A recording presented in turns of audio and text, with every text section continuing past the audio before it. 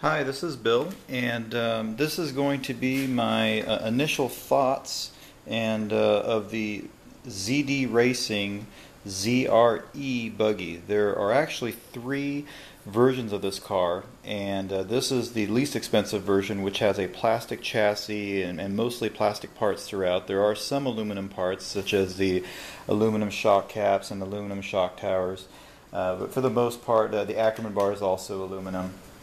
Uh, but for the most part, this is a relatively light buggy. It weighs about six and a half pounds, ready to run with the uh, stock electronics and uh, as compared to some of the other buggies, which are you know nine and a half, ten pounds uh, for the heavier models.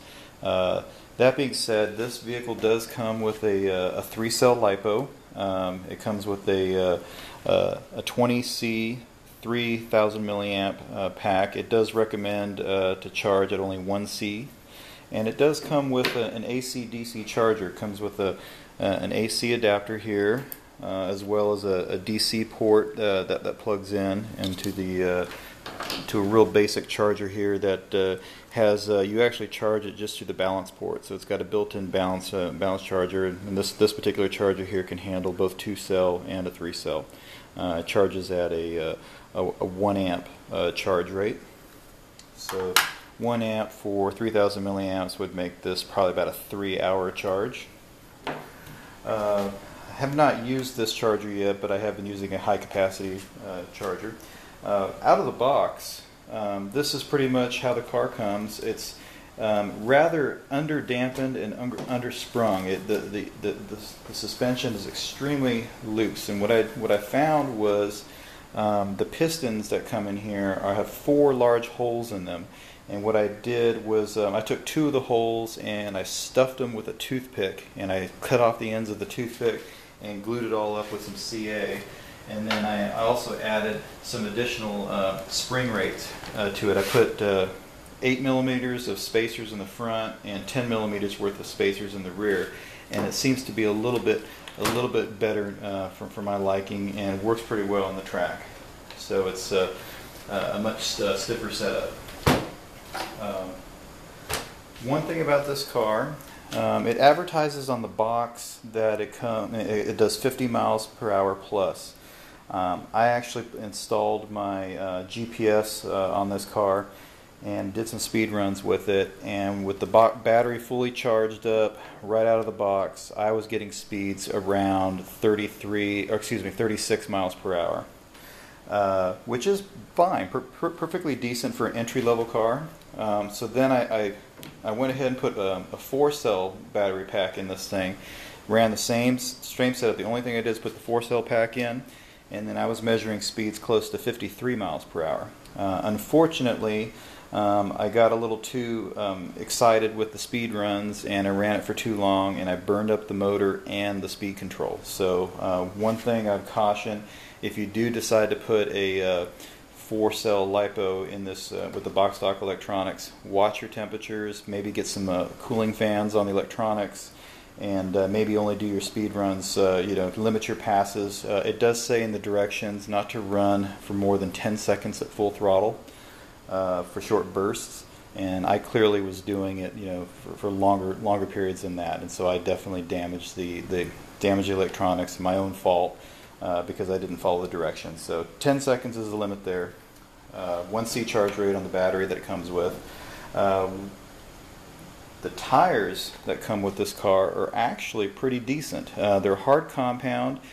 I actually had a good, um, even both on road and off road, um, they work pretty well. Although if you're going to run this on road, you're going to you're going to wear the wear this tread down pretty quickly. You might want to go ahead and invest in a set of uh, uh, on road slick tires for that. But for off road, I had a, had a pretty good pretty good traction control. It, it did quite well on the track.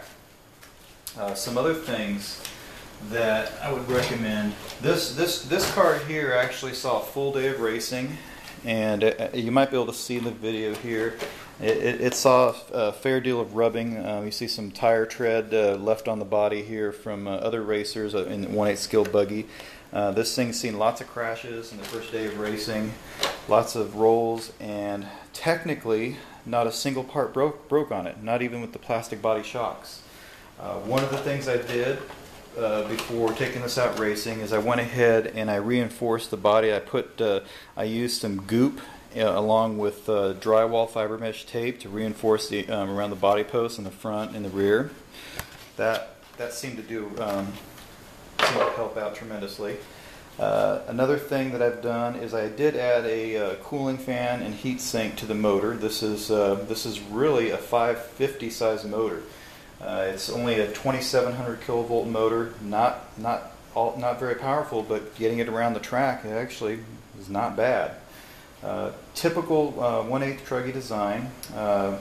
I did drill a hole into the side of the um, of the receiver box, uh, which is really nothing, nothing more than just a dust cover. It's not waterproof, so I had no problem drilling a hole there. I also drilled a hole in the top so that way I could fit my transponder on top of the box and be able to swap that out between other cars when racing. The switch is actually uh, set up on top of the speed control, and the wiring for the speed control seemed to get in the way with the switch. So I used a couple of zip ties to move the wire out of the way so I can be able to flip the switch on and off. And it wasn't too hard getting my finger up underneath the body, be able to turn it on and off, uh, getting set up for racing. The uh, stock servo that comes with it did not have enough throw to it, so there was severe understeer when trying to race. Uh, I went ahead and put in a $15 EXI D226F servo. Absolutely love it. Uh, for the price, you can't you can't go wrong. In fact, this whole car was $92 shipped off of eBay. Uh, I went ahead, that's the reason why I have two of them here. I figured, hey, for $92 a pop, I'll just go ahead and buy a spare car. If parts break, then I'm set. Uh, surprisingly, no parts have broke yet. Uh, what I did have a problem with uh, was on the front, on, on each of the uh, diffs, the, the, the, little cups that come out of the diffs have these set screws. So you'll need to remove this little, uh, this rear plate um, here, and you also need to remove the front plate uh, on top here where the body mount is in order to get to that set screw. Uh, highly recommend removing the set screw, put a generous amount of thread lock on that set screw in there, and go ahead and reattach it. Same thing with all the wheels.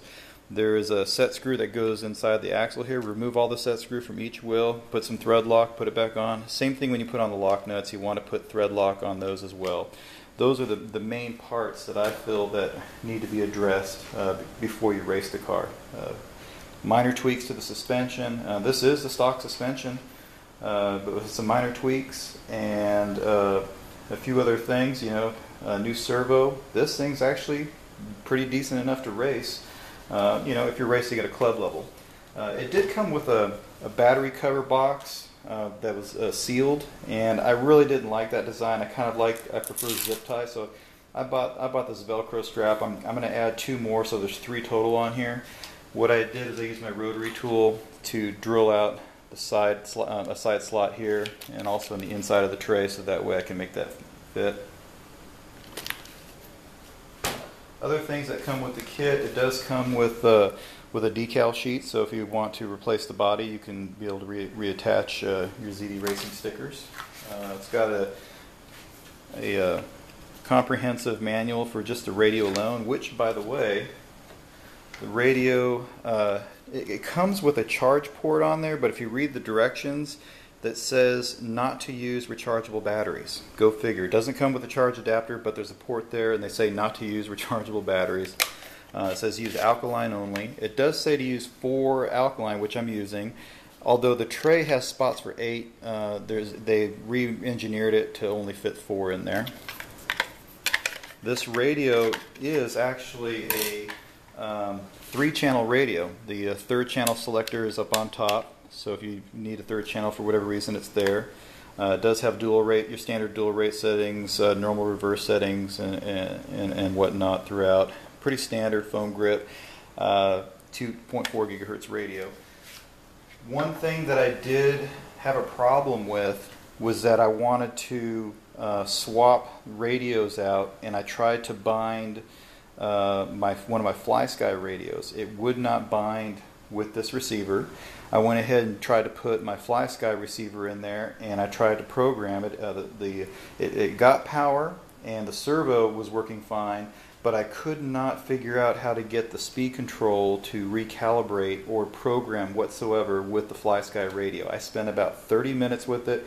I went through the instructions step by step, and I could not get, for any reason, everything that I tried, I could not get this speed control to be recognized through uh, through my FlySky radio. So if you're going to use this speed control, I believe I have I have reason to believe that it's only uh, set up to be used with this uh, this T3 GMN 2400 series radio. So uh, other than that, uh, if I do decide to upgrade later on, I'll probably upgrade a new speed control. Probably continue to use the same motors, just so that way I can use a FlySky radio uh, later on.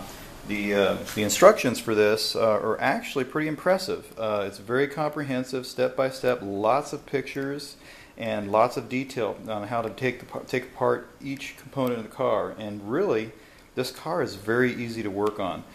Uh, it, it, took me not even 30 minutes to rebuild to, to get into the front diff assembly, take it all, take the front end apart, and put it back together again. I did try to see if some parts would be compatible with other with other popular brands of cars, and it doesn't seem to be that I can tell. I, have I've checked uh, an OFNA car and I checked a Himoto car, and neither of those parts seemed to seem to work. So, but the good news is there are at least three or four companies within the U.S. that are selling ZD racing parts currently. So, part support should not be an issue. Uh, another thing, the goodie bag does come with some zip ties, which is uh, nice to help secure uh, some of your electronics around there. It comes with this extremely long antenna. In fact, I can't even get that on the screen, and uh, you really don't need all, all of that, but it's uh, nice to have some spare uh, tubing. It does come with a, uh, a little baggie of spacers. I found that the spacers that came with it were insufficient. I had to use uh, big bore spacers for the team associated to be able to make it work because I needed, you know, like I said, 8 millimeters of spacing in the front, 10 millimeters in the rear. Nowhere close to that in this included, included kit. So plan on buying some additional spacers. Uh, it also comes with uh, additional uh, servo saver adapters, and I had to actually use these to make this work for my EXI servo, which is it worked perfectly fine for that spline. So I, so there's four different uh, splines to choose from that comes with, an app. that was really nice.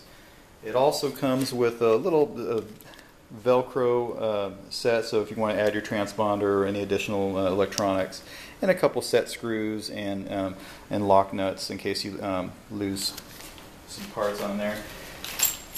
It also comes with some tools, and I was really pleasantly surprised with that. Uh, almost all these tools are, are going to work on the car with the exception of this wrench and I was surprised that it did not come with a 17 millimeter um, end on this wrench. So there's no way to use this tool to be able to, uh, to, to tighten your wheel. So you will need to purchase a separate 17 millimeter uh, socket wrench uh, to be able to tighten the wheels. Other than that, out of the box, I got one full day of racing on it. Um, look for a long-term review of this soon. This is just kind of a short-term uh, highlight of what to expect out of this car. Uh, I am so far I'm, I'm fairly impressed with it. Uh, we'll see if it continues to hold up over the next few months and look for some follow-up feedback.